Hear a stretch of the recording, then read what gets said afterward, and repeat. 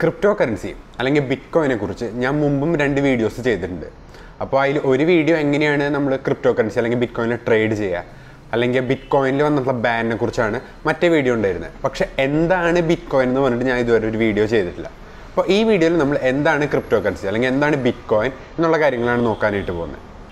ആദ്യം തന്നെ നമുക്ക് ഈ വാക്ക് എടുക്കാം ക്രിപ്റ്റോ കറൻസി ഇതിനെ നമുക്ക് രണ്ടായിട്ട് ഡിവൈഡ് ചെയ്യാം ക്രിപ്റ്റോന്നും കറൻസിന്നും ഇനി നമുക്ക് ആദ്യം തന്നെ ഞാൻ കറൻസി എടുത്ത് പറയാം.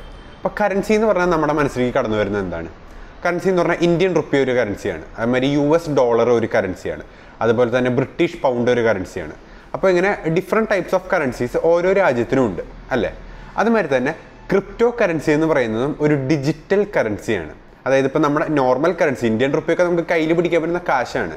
പക്ഷേ ഈ ക്രിപ്റ്റോ കറൻസി കംപ്ലീറ്റ്ലി ഡിജിറ്റലാണ് ഇപ്പോൾ ഈ ക്രിപ്റ്റോ കറൻസിക്ക് തന്നെ പല പല കറൻസികളുണ്ട് ക്രിപ്റ്റോ കറൻസികളുണ്ട് ഇപ്പോൾ ബിറ്റ് കോയിൻ ഒരു ക്രിപ്റ്റോ കറൻസിയാണ് അതുമാതിരി ഡോജ് കോയിൻ ഒരു ക്രിപ്റ്റോ കറൻസിയാണ് എതറിയം ഒരു ക്രിപ്റ്റോ കറൻസിയാണ് അപ്പോൾ ഈ ക്രിപ്റ്റോ കറൻസിയിൽ തന്നെ ഇഷ്ടമാതിരി വെറൈറ്റീസ് ഉണ്ട്. നമ്മുടെ നോർമൽ കറൻസിയിൽ ഇന്ത്യൻ റുപ്പി ഡോളറൊക്കെ ഉള്ള മാതിരിയാണ് ക്രിപ്റ്റോ കറൻസിയിൽ ഈ ബിറ്റ് കോയിനും എതറിയും ഒക്കെ ഉള്ളത്.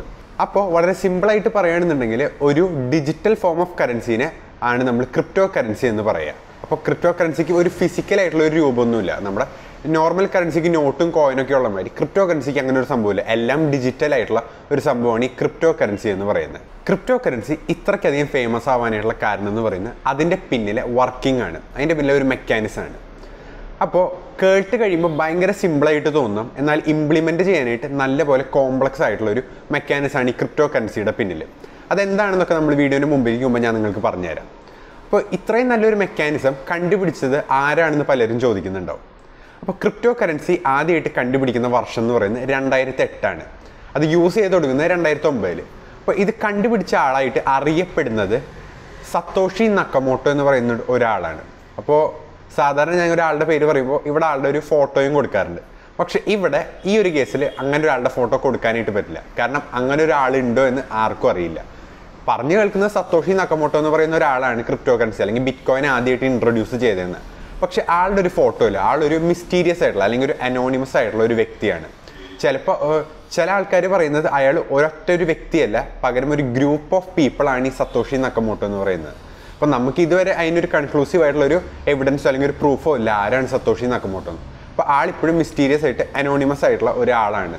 ഇനി നമ്മൾ എന്താണ് ബിറ്റ്കോയിന്റെ യൂസ് എന്ന് മനസ്സിലാക്കണം. എന്തുകൊണ്ടാണ് ആൾക്കാർ ഈ ബിറ്റ്കോയിൻ പ്രിഫർ ചെയ്യുന്നത്? അല്ലെങ്കിൽ ഈ ക്രിപ്റ്റോ കറൻസീസ് പ്രിഫർ ചെയ്യുന്നത് എന്ന് നമ്മളൊന്ന് മനസ്സിലാക്കേണ്ട കാര്യമുണ്ട്. അതിന്റെ ഏറ്റവും ഇമ്പോർട്ടന്റ് ആയിട്ടുള്ള ഒരു കാര്യം എന്ന് പറയുന്നത് ക്രിപ്റ്റോ കറൻസി യൂണിവേഴ്സലാണ് നമ്മൾ ഇന്ത്യയിൽ നമുക്കിപ്പോൾ ഇന്ത്യൻ റുപ്പി കയ്യിലുണ്ടെന്ന് വെക്കുക. അപ്പോൾ നമ്മൾ ഇന്ത്യൻ റുപ്പിയും കൊണ്ട് അമേരിക്കയിൽ ചെന്നാൽ നമുക്ക് എന്തെങ്കിലും സാധനങ്ങൾ മേടിക്കാൻ പറ്റുമോ? പറ്റില്ല. നമ്മൾ ആ ഇന്ത്യൻ റുപ്പിനെ യു എസ് ഡോളേഴ്സിലേക്ക് കൺവെർട്ട് ചെയ്തിട്ട് വേണം നമ്മൾ സാധനങ്ങൾ മേടിക്കാനായിട്ട്. പക്ഷേ ബിറ്റ് കോയിൻ അങ്ങനെ ഒരു പ്രശ്നമില്ല. നമുക്ക് ഇന്ത്യയിൽ കിട്ടുന്ന ബിറ്റ് കോയിൻ തന്നെയാണ് അമേരിക്കയിലും കിട്ടുന്ന ബിറ്റ് കോയിൻ അപ്പോൾ നമുക്ക് ഇവിടെ നമ്മുടെ കയ്യിൽ ബിറ്റ് കോയിൻ ഉണ്ട് എന്നുണ്ടെങ്കിൽ നമുക്ക് അമേരിക്കയിൽ ചെന്നാലും ലണ്ടനിൽ ചെന്നാലും എവിടെ ചെന്നാലും ലോകത്തിന്റെ എവിടെ ചെന്നാലും ബിറ്റ് കോയിനെ ആക്സെപ്റ്റ് ചെയ്യുന്ന സ്ഥലമാണെന്നുണ്ടെങ്കിൽ അവിടെ നമുക്ക് ബിറ്റ് കോയിൻ വഴി തന്നെ നമുക്ക് ട്രാൻസ്ഫർ നടത്താനായിട്ട് സാധിക്കും. അതിന് നമുക്ക് വേറൊരു രൂപത്തിലേക്ക് കൺവെർട്ട് ചെയ്യേണ്ട സംഭവമൊന്നുമില്ല.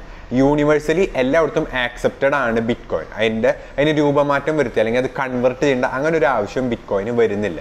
ഇനി രണ്ടാമതായിട്ട് ഒരു അഡ്വാന്റേജ് പറയുകയാണെന്നുണ്ടെങ്കിൽ ഒരു ബിറ്റ് കോയിൻ ട്രാൻസാക്ഷൻ അല്ലെങ്കിൽ ക്രിപ്റ്റോ കറൻസി ട്രാൻസാക്ഷൻസിന്റെ ഇടയിൽ ഒരു ബാങ്ക് ഇന്റർമീഡിയറ്റ് വരുന്നില്ല. അപ്പോൾ നമ്മൾ നോർമൽ ട്രാൻസാക്ഷൻ കേസ് എടുക്കുകയാണെന്നുണ്ടെങ്കിൽ ഇപ്പോൾ എനിക്ക് നിങ്ങൾക്ക് പൈസ അയക്കണമെന്നുണ്ടെങ്കിൽ അതിന്റെ ഇടയിൽ നമ്മുടെ ബാങ്ക് വരും. ബാങ്ക് ഒരു ഇന്റർമീഡിയറി ആയിട്ട് അവിടെ പ്രവർത്തിക്കും. പക്ഷേ ബിറ്റ് കോയിൻ ട്രാൻസാക്ഷന്റെ കേസിൽ അങ്ങനെ ഒരു ഇന്റർമീഡിയറി ഇല്ല. അപ്പോൾ അതുകൊണ്ട് ഈ ഒരു തേർഡ് പാർട്ടീനെ അവോയ്ഡ് ചെയ്യാൻ സാധിക്കുന്ന ഒരു നല്ലൊരു അഡ്വാന്റേജ് ആണ് ക്രിപ്റ്റോ കറൻസീനെ നോക്കുമ്പോൾ. ഇനി അതുമാതിരി മൂന്നാമത്തെ ഒരു അഡ്വാന്റേജ് എന്ന് പറയുന്നത് ഈ ഒരു ഇന്റർമീഡിയറി ആയിട്ട് ബാങ്ക് ആക്ട് ചെയ്യാത്തതുകൊണ്ട് തന്നെ ഈ ട്രാൻസാക്ഷൻ ചാർജസ് ഭയങ്കര കുറവാണ്. കുറവാണ്. അതുമാതിരി തന്നെ ഭയങ്കര ക്വിക്കുമാണ് ബാങ്കിനെ വെച്ച് കമ്പയർ ഈ ബാങ്കിന്റെ ഇടപെടൽ ഇല്ലാത്തതുകൊണ്ട് ഭയങ്കര ഫാസ്റ്റായിട്ട് ഈ ഒരു ട്രാൻസാക്ഷൻസ് ഇവിടെ നടക്കാനായിട്ടും സാധിക്കും. ഇനി നാലാമതായിട്ടും ചിലവർ ഭയങ്കര ഇമ്പോർട്ടന്റ് ആയിട്ടും ഡീം ചെയ്യുന്ന ഒരു അഡ്വാന്റേജ് എന്ന് പറയുന്നത് ക്രിപ്റ്റോ കറൻസി ട്രാൻസാക്ഷൻസ് അനോണിമസ് ആയിട്ട് നമുക്ക് നടത്താനായിട്ട് സാധിക്കും. നമ്മുടെ പേരോ കാര്യങ്ങളോ ഒന്നും ഇവിടെ ബിറ്റ്കോയിൻ ട്രാൻസാക്ഷനിൽ യൂസ് ചെയ്യുന്നില്ല. ജസ്റ്റ് നമ്മുടെ ഒരു ഡിജിറ്റൽ ആയിട്ടുള്ള അല്ലെങ്കിൽ ഒരു ഐഡന്റിറ്റി മാത്രമാണ് യൂസ് ചെയ്യുന്നത്. അതിൽ നമ്മുടെ പേരും കാര്യങ്ങളും ഒന്നും ഇൻക്ലൂഡഡ് അല്ല. അപ്പോൾ നമുക്ക് വേറെ ആൾക്ക് അനോണിമസ് ആയിട്ട് പൈസ അയക്കണം എന്നുണ്ടെങ്കിൽ അതിനും സാധിക്കും. നമ്മൾ പൈസ റിസീവ് ചെയ്യുന്ന ആളുടെ ഐഡന്റിറ്റിയും അനോണിമസ് ആയിട്ട് തന്നെ ഇരിക്കും. അപ്പോൾ ഇതുകൊണ്ട് തന്നെ കുറേ പേര് ഈ ഒരു റീസണിന്റെ പുറത്ത് മാത്രം ക്രിപ്റ്റോ കറൻസീനെ ആശ്രയിക്കുക അല്ലെങ്കിൽ യൂസ് ചെയ്യുന്നത് ഉണ്ട്. ഇനി ബിറ്റ്കോയിന്റെ ഏറ്റവും ഇമ്പോർട്ടന്റ് ആയിട്ടുള്ള ഒരു അഡ്വാന്റേജ് പറയുന്നത് ബിറ്റ്കോയിൻ ഭയങ്കര സെക്യൂർ ആണ്. ബിറ്റ്കോയിൻ അല്ല ക്രിപ്റ്റോ കറൻസി മൊത്തത്തിൽ ഭയങ്കര സെക്യൂർ ആണ്. അപ്പോൾ ഇതിന്റെ കാരണം എന്ന് പറയുന്നത് ബ്ലോക്ക് ചെയിൻ ടെക്നോളജി വഴിയാണ് ക്രിപ്റ്റോ കറൻസി വർക്ക് ചെയ്യുന്നത്. ഈ ഒരു മെക്കാനിസത്തിന്റെ സേഫ്റ്റി കൊണ്ട് കഴിഞ്ഞ് ബിറ്റ് കോയിൻ അല്ലെങ്കിൽ ക്രിപ്റ്റോ കറൻസി ഇത്രയും സെക്യൂർ ആയിട്ട് നിൽക്കുന്നത് ബാങ്കുകളൊക്കെ വെച്ച് കമ്പയർ ചെയ്യുമ്പോൾ ഭയങ്കര അധികം സെക്യൂർ ആണ്. ബാങ്കിൽ നിന്നൊക്കെ നമുക്ക് ഹാക്കേഴ്സിന് പൈസ ഒക്കെ തട്ടിയെടുക്കാൻ പറ്റുന്നുണ്ടെങ്കിൽ ബിറ്റ് കോയിനിൽ നിന്ന് അല്ലെങ്കിൽ ക്രിപ്റ്റോ കറൻസിയിൽ നിന്ന് അതിന് ഒരിക്കലും സാധിക്കില്ല. അപ്പോൾ അത് ഈ ബ്ലോക്ക് ചെയിൻ മെക്കാനിസം വഴി ആയതുകൊണ്ടാണ് ഇത് സാധിക്കാത്തത്. ആ ബ്ലോക്ക് ചെയിൻ എന്താണെന്ന് ഞാൻ വീഡിയോ മുമ്പിലേക്ക് പോകുമ്പോൾ നിങ്ങൾക്ക് പറഞ്ഞുതരാം. അപ്പോൾ ഇങ്ങനെ കുറേ അഡ്വാന്റേജസിന്റെ കൂടെ തന്നെ ഡിസഡ്വാന്റേജസും വരും. അപ്പോൾ ഒരു ഡിസഡ്വാന്റേജ് എന്ന് പറയുന്നത് ഞാൻ നേരത്തെ പറഞ്ഞു ട്രാൻസാക്ഷൻസ് അനോണിമസ് ആണെന്ന്. അപ്പോൾ ഈ അനോണിമസ് ആയിട്ട് ട്രാൻസാക്ഷൻസ് നടക്കുമ്പോൾ ഇല്ലീഗൽ ആയിട്ടുള്ള കുറേ അധികം ആക്ടിവിറ്റീസിന് ബിറ്റ് കോയിൻ അല്ലെങ്കിൽ ക്രിപ്റ്റോ കറൻസി യൂസ് ചെയ്യുന്നുണ്ട്. ഇനി രണ്ടാമതൊരു ഡിസഡ്വാന്റേജ് പറയുകയാണെന്നുണ്ടെങ്കിൽ ഇടയിൽ ഒരു ഇന്റർമീഡിയറി ആയിട്ട് ബാങ്ക് ഇല്ലാത്തത് കൊണ്ട് തന്നെ നമ്മൾ തെറ്റായിട്ടൊരു ട്രാൻസാക്ഷൻ നടത്തിയെന്ന് വിചാരിക്കുക. അപ്പോൾ ആർക്കാണ് നമ്മൾ പൈസ അയച്ചത് എന്നുള്ള കാര്യങ്ങൾ ഒന്നും ആ ഒരു ഡീറ്റെയിൽസ് ഒന്നും നമുക്ക് കിട്ടില്ല. അപ്പോൾ നമുക്ക് അവരെ കോൺടാക്ട് ചെയ്തിട്ട് ഇങ്ങനെ ട്രാൻസാക്ഷൻ തെറ്റി നടന്നു എന്ന് പറഞ്ഞിട്ട് നമുക്ക് അതിന് ഒരു റീഫണ്ട് കിട്ടാനായിട്ടുള്ള ഒരുവിധ പോസിബിലിറ്റിയും ഇല്ല. തെറ്റായിട്ട് കാശ് അയച്ചാൽ ആ കാശ് പോയി തന്നെയാണ്. ഇനി മൂന്നാമതായിട്ടൊരു ഡിസഡ്വാന്റേജ് എന്ന് പറയുകയാണെന്നുണ്ടെങ്കിൽ ഗവൺമെന്റ് ചിലപ്പോൾ ഇതിന് ഇന്റർഫിയർ ചെയ്യാനായിട്ടുള്ള പോസിബിലിറ്റീസ് ഉണ്ട്. ചില ഗവൺമെന്റുകൾ ക്രിപ്റ്റോ കറൻസി ബാൻ ചെയ്തിട്ടുണ്ട്. ഇപ്പം ഇന്ത്യയുടെ കേസ് എടുക്കുകയാണെന്നുണ്ടെങ്കിൽ ചില നേരത്തെ പറയും ബാൻ ചെയ്തു ചില നേരത്തെ പറയും ബാൻ ചെയ്തില്ല. അപ്പോൾ അതിനെക്കുറിച്ച് ഒരു വലിയൊരു ഡിസ്കഷൻ തന്നെയാണ് ഇപ്പോൾ നടന്നുകൊണ്ടിരിക്കുന്നത്. നിലവിൽ ബാൻ ചെയ്തിട്ടില്ല പക്ഷേ എപ്പോൾ വേണമെങ്കിലും ബാൻ ചെയ്യാനുള്ള പോസിബിലിറ്റി ഉണ്ട് എന്നാണ് തോന്നുന്നത്. കാരണം കുറേ അധികം റെഗുലേഷൻസ് അല്ലെങ്കിൽ കുറേ അധികം ഡിസ്കഷൻസ് പാർലമെന്റിലൊക്കെ ഈ ഒരു ക്രിപ്റ്റോ കറൻസിനെ കുറിച്ച് നടക്കുന്നുണ്ട് ഇപ്പോൾ നിലവിൽ ഇനി ഞാൻ നിങ്ങൾക്ക് ക്രിപ്റ്റോ കറൻസിയുടെ വർക്കിങ്ങിനെ കുറിച്ച് പറഞ്ഞുതരാം. കേൾക്കാനായിട്ട് ഭയങ്കര ഇൻട്രസ്റ്റിംഗ് ആണ് ഭയങ്കര സിമ്പിൾ ആയിട്ടുള്ള ഒരു കോൺസെപ്റ്റ് ആണ് മനസ്സിലാക്കാനായിട്ട് എളുപ്പമാണ് പക്ഷേ ഭയങ്കര കോംപ്ലക്സ് ആണ് നൺദലെസ് അപ്പോൾ ഞാൻ വീഡിയോന്റെ സ്റ്റാർട്ടിങ്ങിൽ പറഞ്ഞിട്ടുണ്ടായിരുന്നു ഈ ഒരു കോൺസെപ്റ്റിനെ കുറിച്ച്. അപ്പോൾ ഇനി നമുക്ക് അതെന്താണെന്നൊന്ന് കേട്ട് നോക്കാം. ക്രിപ്റ്റോ കറൻസി എങ്ങനെയാണ് വർക്ക് ചെയ്യുന്നത് എന്ന് അറിയണമെന്നുണ്ടെങ്കിൽ നിങ്ങൾ ആദ്യം തന്നെ ബ്ലോക്ക് ചെയിൻ എന്ന് നിങ്ങൾ മനസ്സിലാക്കണം. ഈ ഒരു ബ്ലോക്ക് ചെയിൻ ടെക്നോളജി വഴിയാണ് ക്രിപ്റ്റോ കറൻസി വർക്ക് ചെയ്യുന്നത്. എന്താണ് ബ്ലോക്ക് ചെയിൻ എന്ന് മനസ്സിലാക്കാനായിട്ട് ഞാൻ നിങ്ങൾക്ക് ഒരു എക്സാമ്പിൾ പറഞ്ഞുതരാം. നിങ്ങളൊരു ബോക്സ് ഉണ്ടെന്ന് വിചാരിക്കുക ഒരു പെട്ടി ഉണ്ടെന്ന് വിചാരിക്കുക. അപ്പോൾ ഞാൻ നിങ്ങൾക്ക് കുറച്ച് പൈസ ക്രിപ്റ്റോ കറൻസി വഴി അല്ലെങ്കിൽ ബിറ്റ് കോയിൻ വഴി ട്രാൻസാക്ഷൻ നടത്തി. അപ്പോൾ ഈ ഒരു ബോക്സിലേക്ക് ഈ ഒരു ട്രാൻസാക്ഷന്റെ കംപ്ലീറ്റ് ഡീറ്റെയിൽസ് പോവാണ് ചെയ്യുന്നത്. അതായത് എന്റെ കയ്യിൽ മൊത്തം എത്ര ബിറ്റ് കോയിൻ ഉണ്ട് നിങ്ങളുടെ കയ്യിൽ മൊത്തം എത്ര ബിറ്റ് കോയിൻ ഉണ്ട്. ഞാൻ എത്ര ബിറ്റ് കോയിനാണ് നിങ്ങൾക്ക് തരുന്നതെന്നും അത് റിസീവ് ചെയ്യുമ്പോൾ നിങ്ങളുടെ കയ്യിൽ എത്ര ബിറ്റ് കോയിൻ കൂടിയെന്നും അതുമാതിരി എന്റെ കയ്യിൽ നിന്ന് എത്ര ബിറ്റ് കോയിൻ കുറഞ്ഞു എന്നും അപ്പം എന്റെ മൊത്തം ബിറ്റ് കോയിന്റെ ബാലൻസും നിങ്ങളുടെ മൊത്തം ബിറ്റ് കോയിന്റെ ബാലൻസും ഒക്കെ ഈ ഒരു ബോക്സിലേക്ക് റെക്കോർഡ് ആവുകയാണ് ചെയ്യുന്നത്. നമ്മുടെ ഈ ഒരു ഡീറ്റെയിൽസ് ഫുള്ളി ട്രാൻസാക്ഷന്റെ എന്റെ ഡീറ്റെയിൽസ് ഈ ഒരു ബോക്സിലേക്ക് പോവാണ് ചെയ്യുന്നത്. ഇപ്പോൾ എന്റെ നിങ്ങളുടെയൊക്കെ ഫൈനൽ ബാങ്ക് ബാലൻസ് ഈ ട്രാൻസാക്ഷൻ കഴിയുമ്പോൾ എത്രയാണെന്നൊക്കെ ഈ ഒരു ബിറ്റ് കോയിന്റെ ഈ ഒരു ബോക്സിൽ ഉണ്ടാവും. ഈ ഒരു ബ്ലോക്ക് ചെയിൻ ബോക്സിൽ ഉണ്ടാവും. ഈ അതുമാതിരി ലോകത്തിൽ പല ആൾക്കാർ ഇതേമാതിരി ട്രാൻസാക്ഷൻസ് നടത്തുന്നുണ്ടാവും. ഈ ട്രാൻസാക്ഷൻസ് എല്ലാം കൂടി ഒരു ബോക്സിലേക്ക് പോകും. അപ്പോൾ ഈ ബോക്സ് നിറഞ്ഞു കഴിയുമ്പോൾ അടുത്ത ബോക്സ് എടുക്കുക അവർ അടുത്ത ബോക്സ് എടുത്തിട്ട് വീണ്ടും ഈ ട്രാൻസാക്ഷൻസ് എല്ലാം കൂടി ആ ഒരു ബോക്സിലേക്ക് പോകും. അപ്പോൾ ഈ ഒന്നാമത്തെ ബോക്സും രണ്ടാമത്തെ ബോക്സും എപ്പോഴും ഇന്റർലിങ്ക്ഡ് ആയിട്ടാണ് നിൽക്കുന്നത്. ഈ ഒന്നാമത്തെ ബോക്സ് നിറയുമ്പോൾ നിറഞ്ഞറിഞ്ഞു തുടങ്ങി അതിന്റെ ഏറ്റവും അവസാനത്തെ ട്രാൻസാക്ഷനും രണ്ടാമത്തെ ബോക്സിന്റെ ഏറ്റവും ആദ്യത്തെ ട്രാൻസാക്ഷനും ലിങ്ക്ഡ് ആണ് എപ്പോഴും. പിന്നെ അത് കഴിഞ്ഞ് രണ്ടാമത്തെ ബോക്സ് എന്ന് പറയുമ്പോൾ ആ രണ്ടാമത്തെ ബോക്സിന്റെ ഫൈനൽ ട്രാൻസാക്ഷനും അതുമാതിരി മൂന്നാമത്തെ ബോക്സിന്റെ ആദ്യത്തെ ട്രാൻസാക്ഷനും വീണ്ടും ലിങ്ക്ഡ് ആണ്. ഈ ഒരു പ്രോസസ്സ് വീണ്ടും ഇങ്ങനെ റിപ്പീറ്റ് ചെയ്ത് റിപ്പീറ്റ് ചെയ്ത് റിപ്പീറ്റ് ചെയ്ത് എത്ര ബ്ലോക്ക് ചെയിൻ ബോക്സസ് വേണമെന്നുണ്ടെങ്കിലും ഉണ്ടാക്കാനായിട്ട് നമുക്ക് സാധിക്കും. അപ്പോൾ ഇതുവഴി ഒന്നാമത്തെ ബ്ലോക്ക് ചെയിന്റെ ബോക്സ് തൊട്ട് ഇതുവരെ ഉണ്ടായിട്ടുള്ള എല്ലാ ബ്ലോക്ക് ചെയിനും ഇപ്പോൾ ഒരു പത്ത് കോടി ബ്ലോക്ക് ചെയിൻ ബോക്സസ് ഉണ്ടെങ്കിലും ഒരു പത്ത് കോടി ബോക്സസും ഒന്നിച്ച് ഇന്റർലിങ്ക്ഡ് ആണ്. ഒന്നാമത്തെ ബോക്സ് തൊട്ട് പത്ത് കോടി ബോക്സുകൾ വരെ എപ്പോഴും ഇന്റർലിങ്ക്ഡ് ആയിട്ടാണ് നിൽക്കുന്നത്. അപ്പോൾ അങ്ങനെ നിൽക്കുന്ന സമയത്ത് ഏതെങ്കിലും ഒരു ബ്ലോക്ക് ചെയിന്റെ ഏതെങ്കിലും ഒരു ബോക്സിൽ എവിടെയെങ്കിലും ഒരു എറർ നടക്കുന്നുണ്ട് എന്നുണ്ടെങ്കിൽ അതിനെ വെരിഫൈ ചെയ്യാനായിട്ട് ഈസി ആയിട്ട് നമുക്ക് സാധിക്കും. അപ്പോൾ അതുകൊണ്ട് തന്നെയാണ് ക്രിപ്റ്റോ കറൻസി ഇത്രയും സേഫ് ആയിട്ടുള്ള ഒരു മീഡിയം ആയിട്ട് നിൽക്കുന്നത്.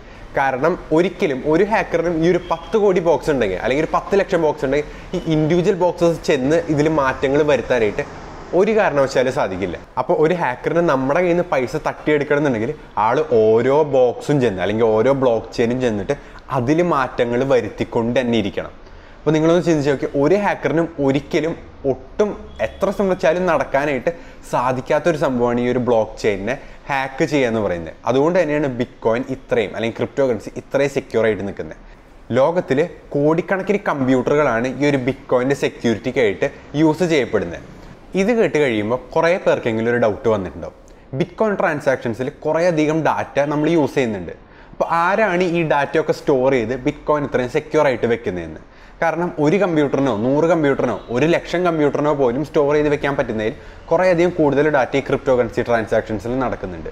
അപ്പോൾ ഇത് ഒന്നോ രണ്ടോ നൂറോ അല്ലെങ്കിൽ ഒരു ലക്ഷോ ആളുകളല്ല ഇത് ഇതിന്റെ പിന്നിൽ പ്രവർത്തിക്കുന്നത്. ഇതിൽ ലോകത്തിന്റെ പല ഭാഗത്തുള്ള കോടിക്കണക്കിന് ആൾക്കാർ ഈ ഒരു ബിറ്റ്കോയിൻ സെക്യൂർ ആയിട്ട് വെക്കാനായിട്ട് വർക്ക് ചെയ്യുന്നുണ്ട്. ഇവരെ വിളിക്കുന്ന പേരാണ് ബിറ്റ് കോയിൻ മൈനേഴ്സ് എന്ന് പറഞ്ഞിട്ട്. അപ്പോൾ നിങ്ങൾക്കും വേണമെന്നുണ്ടെങ്കിൽ ഒരു ബിറ്റ് കോയിൻ മൈനർ ആവാം. എനിക്കും വേണമെന്നുണ്ടെങ്കിൽ ഒരു ബിറ്റ് കോയിൻ മൈനർ ആവാം. ഇതിന് വേണ്ട റിക്വയർമെന്റ് എന്ന് പറയുന്നത് നമ്മുടെ കയ്യിൽ ഭയങ്കര പവർഫുൾ ആയിട്ടുള്ള ഒരു കമ്പ്യൂട്ടർ ആയിരിക്കണം നമ്മുടെ കയ്യിൽ ഉണ്ടാവേണ്ടത്.